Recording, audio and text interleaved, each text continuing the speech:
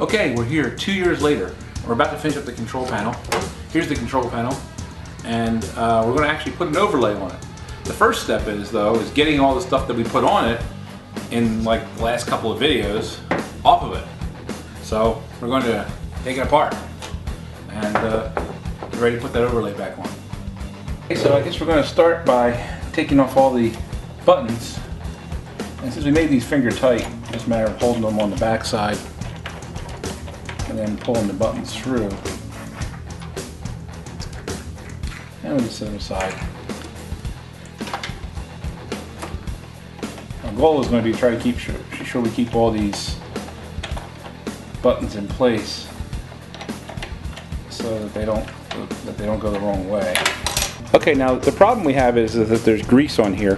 This is probably from somebody's hands because your hands are real greasy. So this control panel's got to be wiped down with some alcohol so that we get rid of all that grease.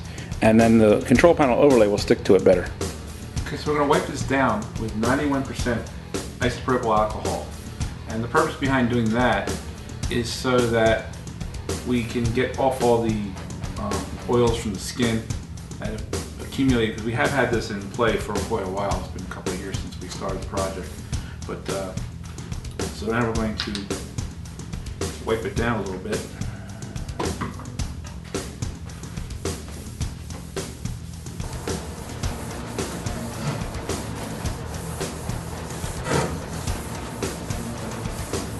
Okay, so this is the moment of truth. We're looking for to put on the control panel overlay.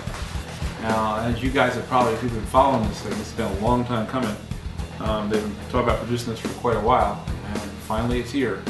And it's supposed to match up with this control panel. What's noticeable about it though is there is some holes missing. There's some holes that are set up, but not actually, hole, there's no holes for them. So those are going to to be cut out by hand, which um, some people are a little curious about how you do that to get it right, and I'll show you. It's pretty easy actually. The biggest problem is getting these holes lined up uh, with the control panel to get it actually perfect once you take the, take the back off. So this is going to be our be a little bit tricky, and we'll show you how we do that. Okay, so what we're going to do is we're going to put some buttons through the holes, and I'm just going to use it to kind of guide where the control panel overlay goes. So we're just going to put the buttons in the holes and then we're going to put the screws in the back. We're going to take some additional sockets I've got and we're going to use these to attach it and that way we can uh, get a couple of these on here then we'll tape it down. So as you can see we've got the uh, holes, got a couple of, we put a couple of the uh, buttons back in and we've got the holes kind of taped in place and uh, we taped on the sides to try to keep it in place. Now this is just the middle of it and we're going to start at the bottom and we're going to peel the bottom of it and then we should be able to remove the the backing from the bottom okay so now I'm going to score with the X-Acto blade. I'm going to score some of the the backing. So what we're going to do is put a nice thin line down the back of it. We're not going to go all the way through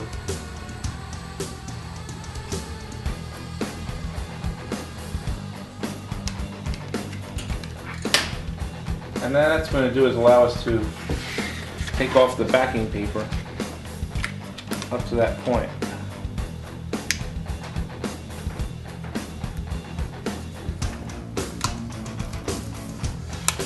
That's where we scored it at. I flipped it over and we're going to push down real hard and I'm going to wrap this around the control panel.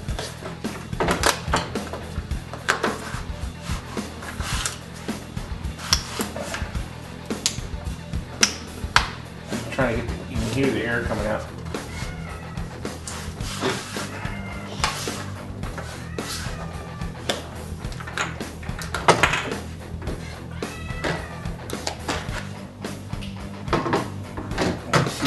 Bubbles and we can push the bubbles out.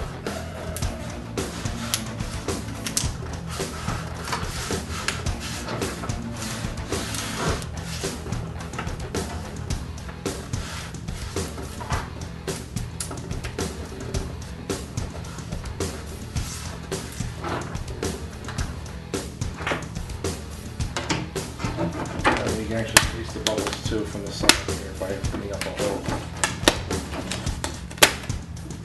Let me overlay that.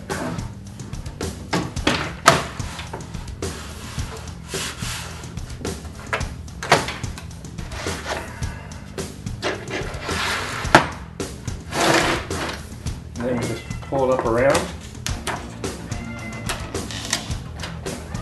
There's a cat's one screen.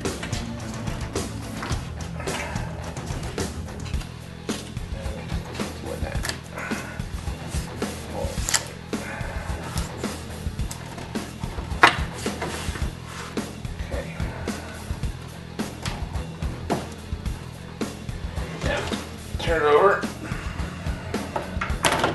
And we should be able to do is remove our tape and continue the process going this way.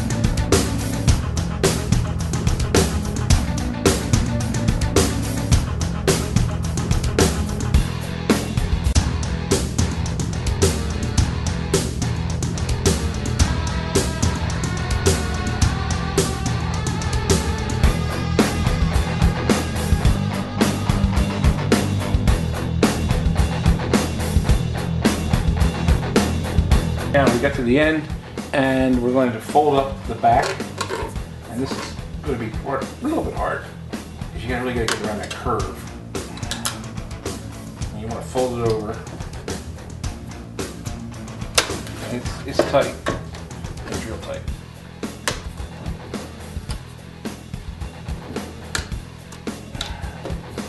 Trying to get it as flat as possible.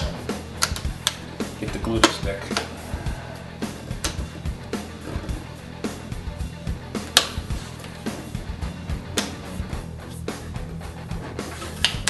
You can also just cut it flush too. But I like to go over. That's the way they did it in the old days.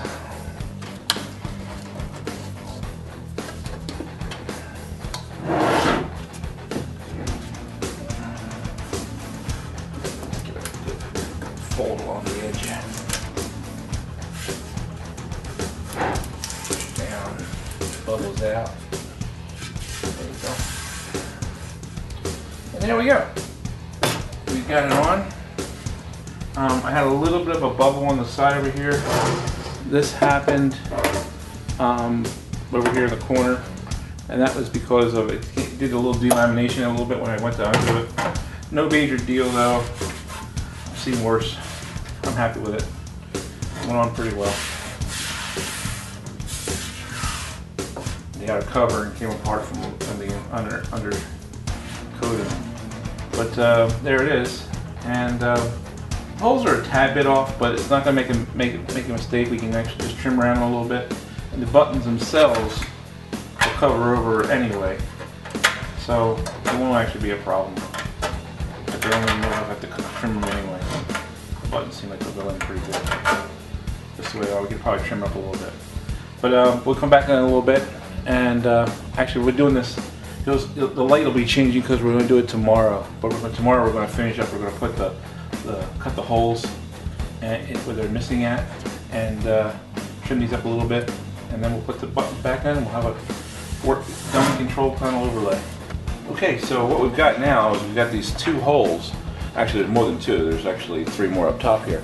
We're going to use these as an example, and we're going to cut these two holes.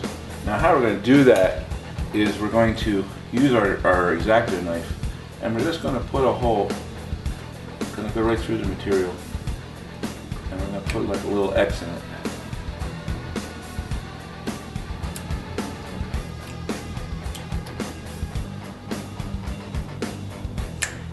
Okay, and, and we could probably even, I usually like to do it from the other side, so we'll just the idea is going to be we're going to use that to cut out, carve out the material there. So what we'll do is we'll go around the other side after we've got done here, and we'll spin it over and we'll do the other side. So you can see this hole has been partially cut out. What I'm just going to do is just going to carve through it and do the rest of it.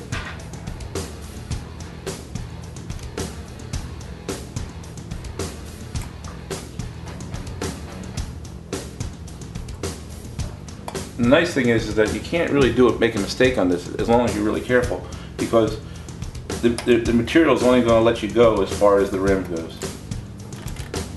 So I'll go do that and we'll show it to you when it's done. Okay, so all we did was just simply go around it and start digging it until I got the hole perfectly round. And the results are really good. I mean, it, it, it follows the hole really, really well. So that, that's actually how you do the holes. So I'll do the rest of them, come back and show you how they looked at when we're done. Okay, so we've done all the holes and you can see they've been cut out. And uh, it really isn't that hard. If you use a small X-Acto blade, then it'll be able to get in there and get the turns real well. I use this uh, kind of pointy one and uh, you can just basically get in there, you can get in there, you can get all the turns really tight by using the, the smaller end of it and get the uh, curves all in there. You can get the little notches inside of here that are in there as well. And uh, I went around and did the rest of the rest of the screw holes, rest of the, I'm sorry, not screw holes, but the uh, button. Went around and did the rest, I ran around and did the rest of the buttonholes. And it came out pretty good. Um, so yeah, so we're ready to go. And the places where the button holes look like they're a little bit off, when you put the button in they're gonna hide it real well. So it really doesn't matter if they're, they're, they're just a tad bit off on the button holes. And we're using covers, so on the joysticks. So with the joystick cover on it, it'll look fine. You don't even know that that was there. There you go. Okay, well, we've completed it. We got it all back together again. Um, joysticks are back on, all the buttons are back on, control panel overlays back on. Ready to go, basically. We got the other side. All the wires been wired up. And uh, we're, we're going to be good to go. And uh, that's it. So going to plug it in and see how it looks like. And we'll take it downstairs and plug it back in the machine and see how it looks. So here we are. We're finally at the end of the ZVG series. It's been a long time coming, but here we are. Okay, so we got a control panel overlay on top of the control panel. We can see it. All the buttons are in the right place. You can see what the buttons do now. It's been a long time coming, but here we are. And all we need now is a new um, marquee. That's going to come out, but we're not going to do another video just for that. Just one of those things where, you know, you guys know what it's going to be like when it comes out. So, that's it. Here we go. The, uh, the ZVG project has come to a final end. I know that a lot of people have gotten a lot of use out of these videos and uh, it's put a lot of more of those VG, ZVG cards back into into games as opposed to be sitting in closets. So thanks for watching and I hope you enjoyed the series.